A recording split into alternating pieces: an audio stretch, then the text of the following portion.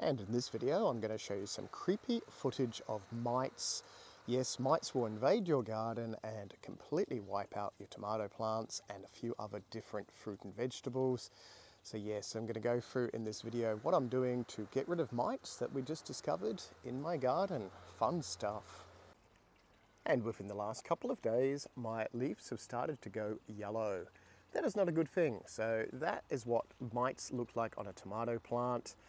Yes, we have a big problem with mites now because once you see them at this stage, that is a couple of weeks old, they will be everywhere and they are tiny little bugs that are about oh, less than a millimeter. You can practically can't see them with the naked eye, but they will attack the plant. They can multiply. They can go from an egg to an adult in less than two weeks. They do not like water and it hasn't really rained much in the last week and all of a sudden, boom, there are leaves like that there are unaffected leaves and then there are sort of semi-dodgy leaves. There is another leaf there. That is not good. That may be mite damage. That actually is. Oh, I wonder if we can zoom in you can actually see them.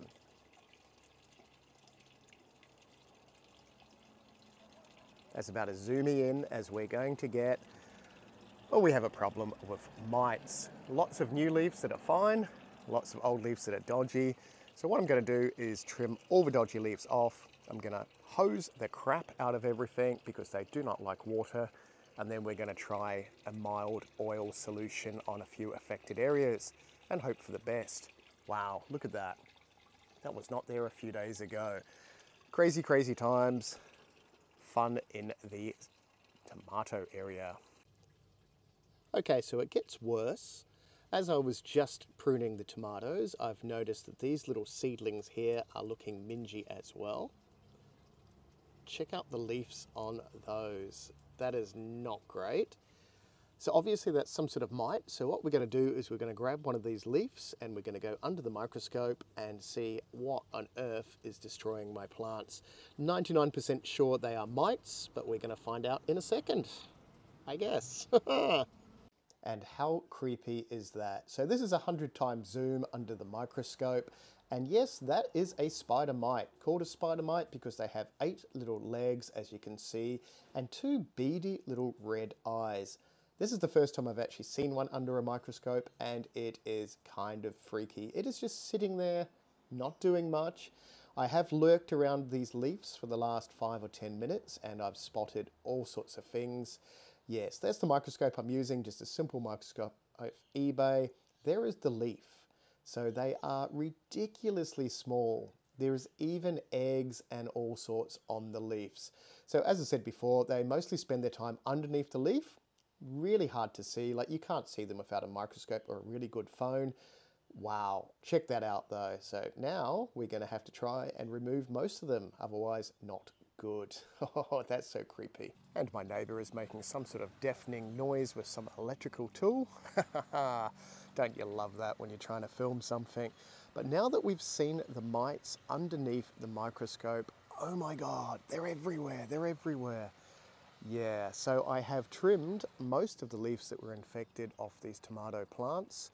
I'm giving them a good hose and then once that dries, I'm gonna try a solution of oils and possibly a detergent solution as well.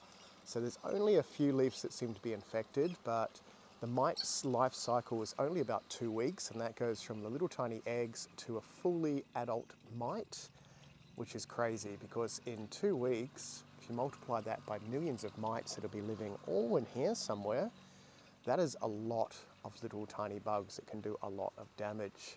Yeah, and it's pretty hard to wipe them all out. Not that we need to wipe them all out, we just want enough of them that they don't really cause any damage, not billions and billions of them. So moderation of mites, I know, and even touching a leaf like that that may have mites on it, touching that leaf will spread them. So they will be pretty much everywhere. They are so small that even the wind can spread them.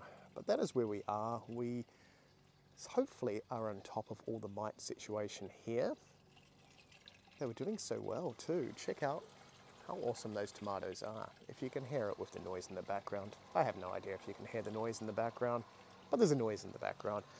Okay, now that that is all sorted, I did notice my potatoes are dodgy as well. So we're gonna jump out of the cage around there. And my poor, poor potatoes. Look at that. So obviously there are, there's even other little bugs on them. Those little beetles are little buggers. Yeah, so the beetles aren't a huge problem. They just make little tiny holes like that. But if we see that sort of color there, that is more mites. So I'm going to just spray the heck out of these. I'm going to try not the oil solution on these, but I'm going to try a soapy sud solution and hopefully that will smother the little mites, well, most of them, so they can't do too much damage. Neighbour is still making lots of noise over there. I'm going to spray and come back. Oh, the wonderful smell of dishwashing liquid. Okay, now there's a plane going overhead. So loud.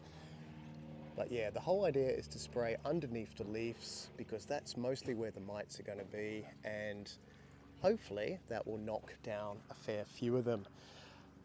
There'll be an update in a few weeks. Obviously there'll be an update on the tomatoes in my tomato cage, which is this thing here. And obviously mites are way too small to be bothered with this mesh. At least there's no grasshoppers in there. If you did enjoy this video and you like the cool footage of the mites, that is so creepy, isn't it? Click the thumbs up so I know. If you want to subscribe, subscribe. And if you want to watch other videos, there are other videos on the screen. We will see you in the next one.